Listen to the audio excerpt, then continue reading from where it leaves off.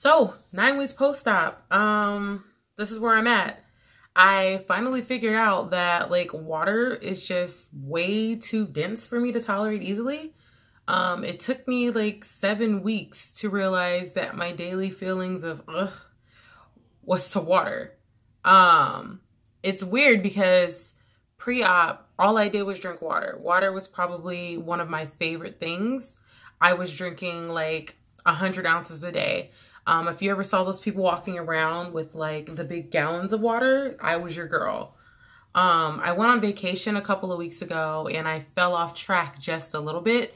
I didn't eat anything bad, but since I've been back, I have been struggling with getting in my calories daily. Um, I'm trying to average about 800 a day, and I, I'm lucky if I get 150 some days. Um, I'm getting my protein in, but I'm trying to wean myself off of shakes and get my protein from food. But it's hard to get your protein from food when you're not hungry.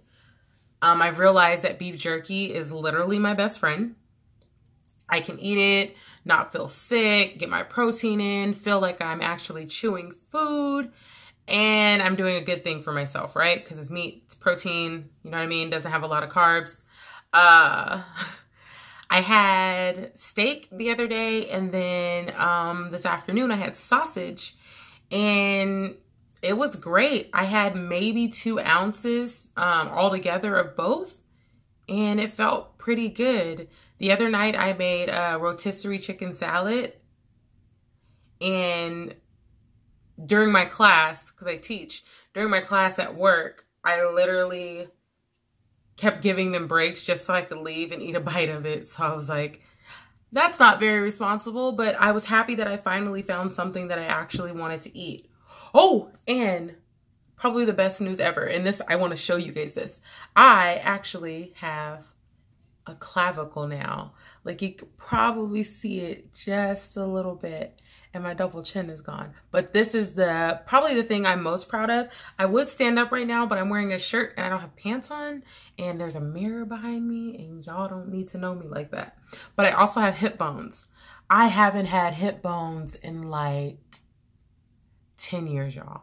I haven't had hip bones in 10 years. That's that's insane, right? So, um I don't know, to anyone who watches my videos and you're in the early stages, it's gonna suck. I'm not gonna lie. The first couple of days to the first couple of weeks sucked for me. I mean, they were horrible.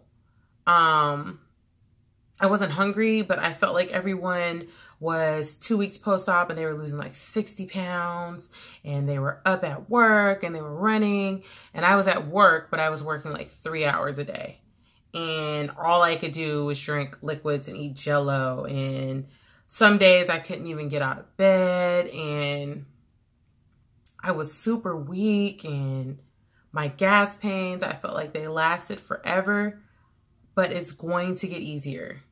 Like how you feel at one or two weeks post-op is not going to be how you feel at week seven or eight. Um, probably at week four or five mark, I was feeling like I made a big mistake. And you guys probably noticed that from my videos because at four or five mark, I was having problems with overeating. I kept getting to the point where I would just eat and eat and eat. And I didn't care. Like, I didn't care how much I ate. And when you start actually tracking what you eat, you realize you don't eat much. So I'm like, oh, I'm stuffing my face. And then I check my app because even though I was stuffing my face, I was still counting the food. I had eaten like 300 calories and I felt like a pig. Um, but not being fat and overweight, I feel like it was a fair trade to being able to do more. Like at weeks four and five, all I thought about was like, man, everyone has this big plate of food and they're eating all of it. And oh my God, I'm so jealous. But I do this all over again at the drop of a dime. Like, I don't even care. You can keep the fat and the big plate of food, and I'll have my one ounce of cauliflower and my two ounces of shredded beef and move on with my life. Another thing that just dawned on me this week weight loss surgery is not for sissies. People feel like you get weight loss surgery and then you just drop the weight and you just look amazing. Oh my God, I didn't do anything to get this. This shit is hard. Like, it's 10% physical and it's like 90% mental game. It's 90%. You would think the fact that I paid almost $10,000 to get this done would deter me from eating shit that I'm not supposed to eat. It doesn't. You would think the compliments would uh, would make me feel like I made the best decision. They don't. I had to fix what was going on in here to fix everything on the outside. When they say it starts from within, they're not lying. It starts from within. So I had to get myself together mentally before I can get myself together physically. So the best way I did that was going to see my therapist, um, joining support groups in person and online, meeting up with people who have actually gone through what I've gone through. And probably my biggest therapy is this channel.